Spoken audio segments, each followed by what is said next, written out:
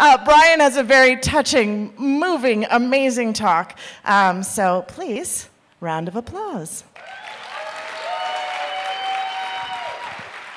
Thank you. Hi. So, um, 12 weeks ago, I had a Denver lifestyle that I bet many of you could probably relate to. I um, rode my bike. I wondered where to go to brunch. Um, I wore a lot of hats, snowboarder, data scientist.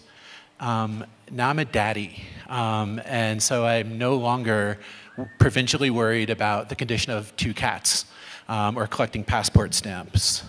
Um, it was a journey that um, took my wife and I quite some time to kind of navigate through. And uh, we looked at a lot of different um, ways of growing our family. We looked at international adoptions, all sorts of stuff.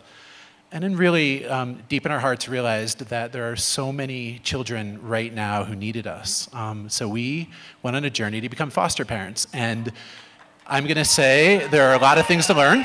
Um, have your shit together, like be organized because you are filling out so many forms and you will constantly forget something and be fingerprinted many times over.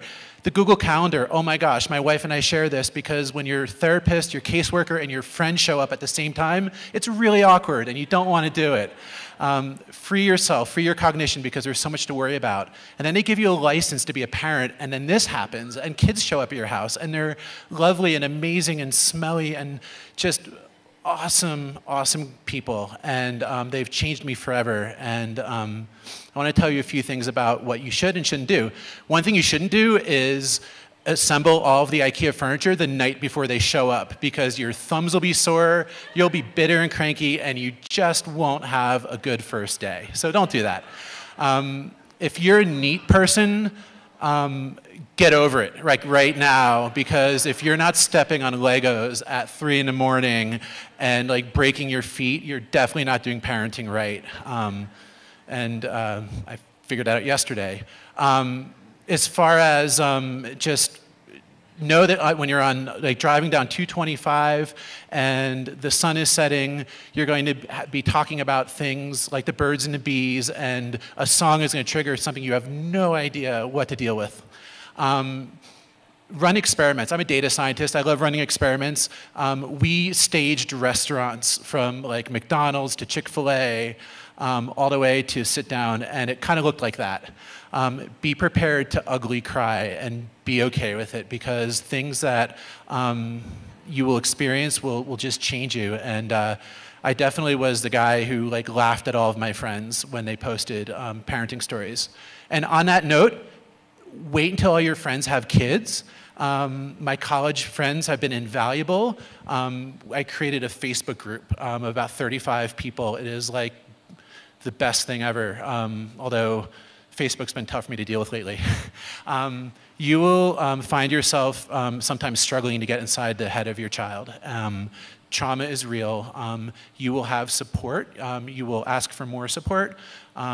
use it. Um, I love charts and graphs. This one's my favorite. It really is all about magic and stuff I have no knowledge about. Um, but parenting is really um, the most wonderful journey um, of all of the things I've done um, in my years. And this, um, this was day three. This is not hopscotch. It's a cry for attention. And you don't need a therapist to tell you that, honestly. so lots of people talk about stats in the foster care system. All I want to really focus on is that there are 65,000 kids that are looking for adoptive parents, and in Colorado, there are two and a half kids for every foster home. So you can do the math, it's a need. Right now, on this very snowy day, 14 children in Colorado entered the foster care system. Um, so what this takes is it takes me, and it takes you, and it takes a community of people um, who love and want to permanently change the life of a child.